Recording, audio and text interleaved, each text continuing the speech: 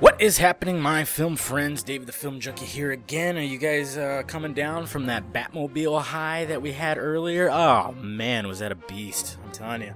It is going to be a beautiful, beautiful movie.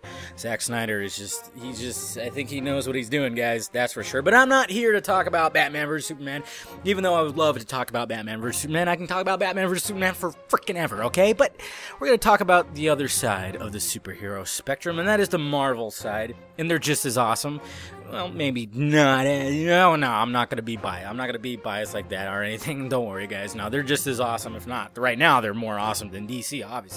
But um, Ultron, he was spotted spotted the actual Ultron. I think it's from the Comic Con footage. You know that footage that we still have not found yet? I can't show it here, guys, because they are pulling videos. This time they for sure are pulling videos. So link down below, first link, you'll see Ultron. He's it's kind of blurry, but you can tell that somebody took it probably from that Comic Con footage. And uh, like I said, I don't want to get dinged.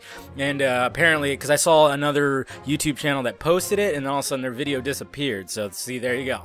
I think it's when it's footage, when we have like a screenshot of footage, that's where everything gets a little touchy with these uh, with these uh, companies and shit. You know, these uh, you know fucking Disney and Marvel. They probably went batshit crazy about all that. So yeah, don't want to show it here, but like I said, first link down below. Go check it out. Come right back here. Let me know what you think of it. I mean, we kind of already saw him on that Entertainment Weekly photo cover thing, so I don't even know why it's even a big deal, but it's still kind of cool. Hopefully, we can still find that footage, guys. We just gotta find that. It's gotta be out there somewhere keep looking.